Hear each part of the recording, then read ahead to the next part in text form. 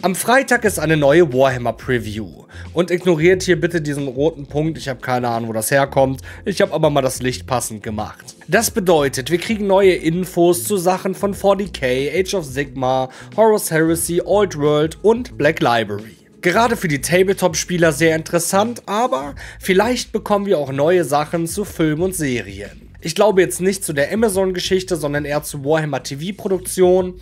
Aber da gab es ja auch das ein oder andere, was dann doch sehr interessant ist. Ich habe ein paar Sachen rausgesucht, über die ich mit euch sprechen will. Und ja, was ich glaube, was erzählt wird und vor allem, was ich hoffe, was erzählt wird. Hier sehen wir nochmal den Artikel mit World Championships Preview.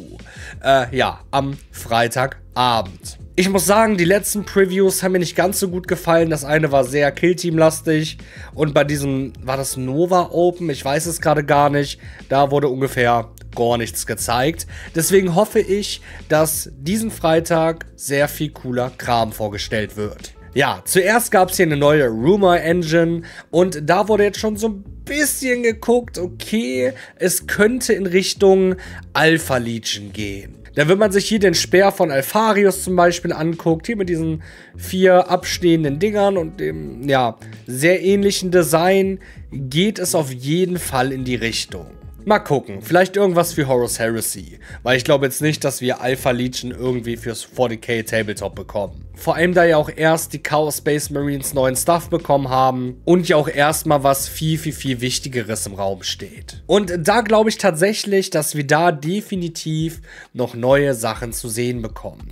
Und zwar für die Emperor's Children. Die wurden jetzt schon so ein bisschen länger geteased. Das Ding hier kam jetzt, glaube ich, Anfang letzter Woche oder sowas raus, wo wir ein paar Schulterplatten sehen. Und ich kann mir vorstellen, dass wir da noch den ein oder anderen weiteren Einblick für die Emperor's Emperor's Children bekommen, die tatsächlich beliebter sind, als ich dachte. Mir ist das ja relativ egal. Ich finde es nicht besonders gut, weil ich mir denke, okay, ich habe bei anderen Fraktionen größere Baustellen, anstatt jetzt noch eine einzuführen. Aber Emperor's Children innerhalb der Community sehr beliebt. Deswegen do your thing so ich glaube nicht, dass wir großartig fertige Modelle und so ein Kram sehen, sondern ja, noch mehr Teaser. Denn es stehen noch ein paar andere Sachen auf dem Plan, wo wir gleich noch drauf eingehen, wenn ich die Roadmap zeige, die da wahrscheinlich aktuell eher noch Priorität haben und wo sich noch mehr Leute drüber freuen können. Aber naja, es steht momentan alles im Zeichen des Chaos sei es bei 40k, aber auch hier bei Age of Sigma zum Beispiel kommen jetzt ja sehr viele Chaos-Sachen wieder neu raus. Deswegen sollte man tatsächlich niemals nie sagen, vielleicht gibt es halt einfach demnächst einen Haufen Chaos-Kram. Wer weiß, wer weiß. Schreib deine Prediction mal gerne in die Kommentare. So, dann gehe ich aber auf jeden Fall sehr davon aus, dass wir neue Sachen zu den ganzen Warhammer TV-Shows und sowas bekommen. Da stehen ja ein paar Sachen im Raum, ja. Neue Staffel Black Talon, Hammer und Bolter kommt was Neues. Und natürlich hier auch diese Show Kill Lupercal. Da hat man nicht so viel gesehen, außer dass es halt mit Titanen zu tun hat. Und ja, da könnte ich mir vorstellen, dass wir da vielleicht nochmal einen neuen Trailer, Clip oder whatever bekommen. Und vielleicht noch mehr angekündigt wurde. Ich habe bereits in der Vergangenheit in dem Video gesagt, dass Games Workshop anscheinend richtig, richtig darauf Wert legt, jetzt auch viel, auch in anderen Entertainment-Branchen zu agieren. Gerade was so Shows angeht, um das Ganze besser zu visualisieren, da holt man ja auch nochmal den ein oder anderen Neukunden ab, sage ich jetzt mal. Ich persönlich würde mich darüber freuen, ne, wenn es vielleicht mal deutsche Synchro geben würde. Auch ein anderes Video von mir habe ich drüber geredet. Der deutsche Markt ist tatsächlich doch relativ relevant mittlerweile für Games Workshop. Die Community-Seite gibt es jetzt ja auch schon auf Deutsch. Deswegen müssen wir auch dafür sorgen, dass die deutsche Community immer größer wird. Deswegen, ich erhöhe jetzt die Shorts auf 20 am Tag.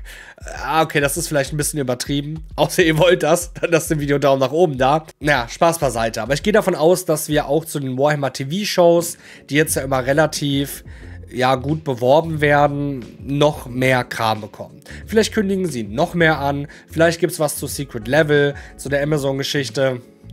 Glaube ich nicht, das würde mich wundern.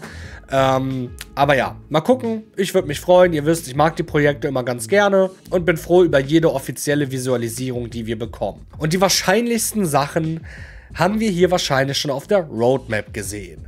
Denn es stehen ja noch ein paar Kodizes an, die in den nächsten Wochen bis Monaten kommen müssten für die 10. Edition. Und ja, hier, ne, Special Chaos äh, haben wir jetzt bereits äh, abgearbeitet. Big Names, vielleicht, vielleicht kommt die Emperor's Children und wir kriegen Fulgrim Modell. Ähm, ja, ich könnte mir aber vorstellen, dass es in der Show hauptsächlich um Astra Militarum, Eldari und Imperial Knights gehen wird. Oder wenigstens eins davon. Es stehen ein paar Sachen im Raum, auch mit Gerüchten und so weiter. Neue Kriegmodelle zum Beispiel, was ich persönlich sehr cool finden würde. Aber ja, von den Sachen, die 2025 kommen, stand jetzt auf dieser Liste, gehe ich mal davon aus, dass wir ein paar Sachen davon in dieser Show jetzt sehen werden. Momentan lag der Fokus ja auch sehr auf Warhammer Underworlds. 40k war ein bisschen stiller, jetzt außer des Emperor's Children Jetzt außer dieses Emperor's Children Ding.